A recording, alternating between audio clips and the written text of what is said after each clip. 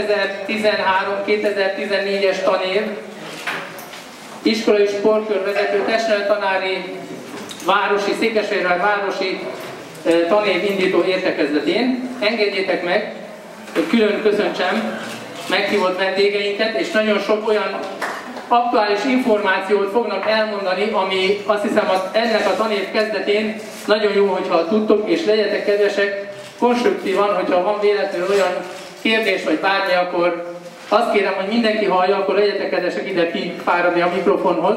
A föltantár, és a testnevelés az valahol az énekkel és a, és a rajzzal együtt valahol úgy, úgy elsikad.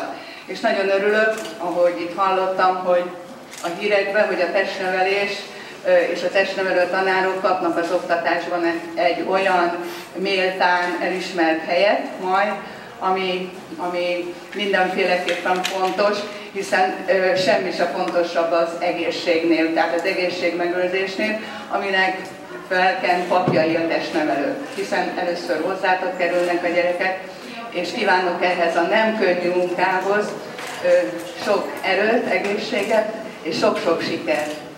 Köszönöm.